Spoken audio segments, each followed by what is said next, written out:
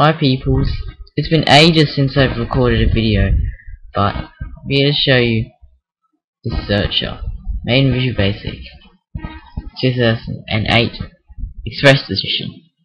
Now, what is different compared to other ones, just like this, hmm.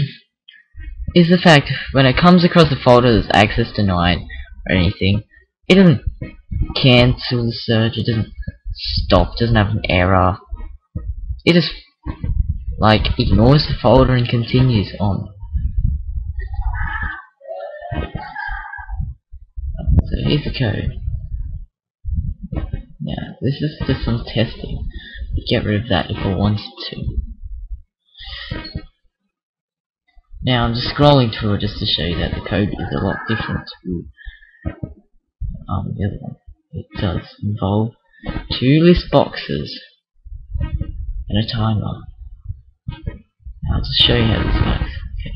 So usually if you search the C drive or something, it will have an error recycler or system volume information. This one doesn't. So just put that. Search any file. You can also, with this one, you can just have nothing. And that will just mean it searches for any file. Let's show it does not have an error. It hasn't had an error at system volume information. And the application also does not freeze up while it's searching. It may freeze up like a few, for a second or so, but it then generally unfreezes. And this is all the folders that search. Folders found, files found. And this will go on for a while until it's found every file and folder in C drive.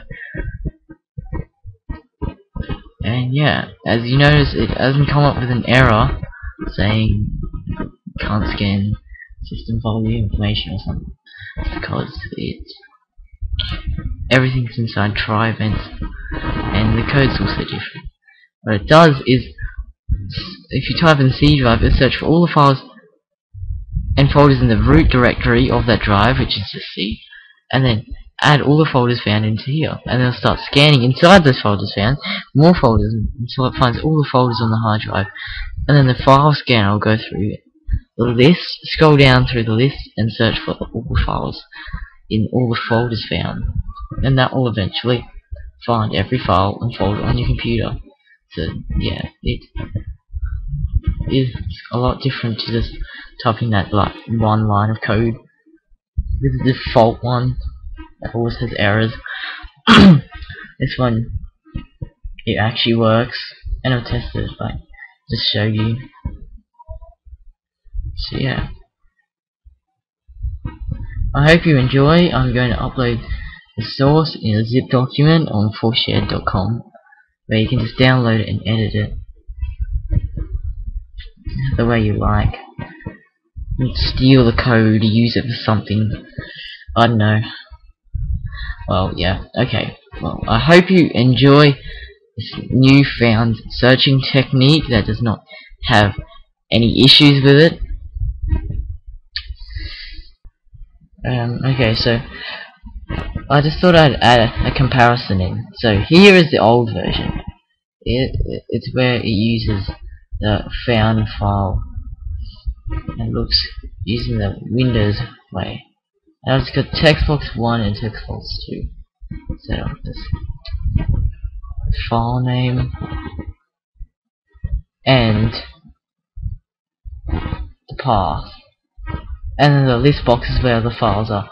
This was an extra function for quick file replace, so you just find the file and then all the files that are found during the search will be replaced with this file.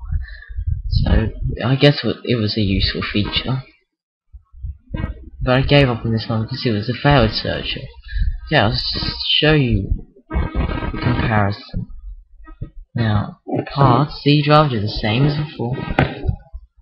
Now, I'll do all files. Just, yeah. Quick search. Error. Access denied. Documents and settings. Instant. Access denied. Now that didn't come up on my other one because it has all those kind of errors fixed. So yeah, this is why I'm showing you the newer version because this kind of crap gets really, really annoying, and there's no way to get around it unless you use something like mine.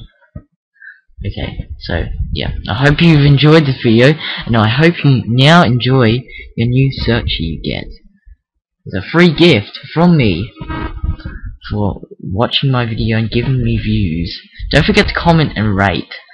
Well, you can't really rate anymore, you have to rate up or down, but try to rate up. Please don't rate down. I don't like it if you rate down. I work very hard on my search up, so I hope you enjoy it. Okay.